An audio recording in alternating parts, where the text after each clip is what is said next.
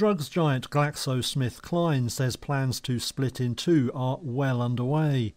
The UK firm says it will separate next year into an over the counter medicines business and one for prescription drugs. It says the full plan will be revealed in June.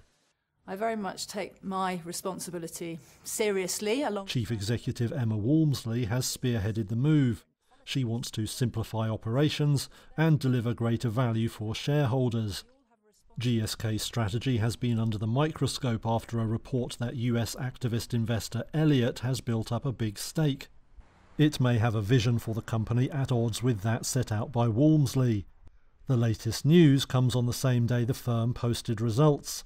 Turnover and adjusted earnings for the three months to March both fell, though the earnings came in a little ahead of forecasts. Investments to prepare for the firm's division have hurt profits, but GSK hopes the streamlined operations will pay off in the longer term. The resulting over the counter business will be merged with that of US rival Pfizer.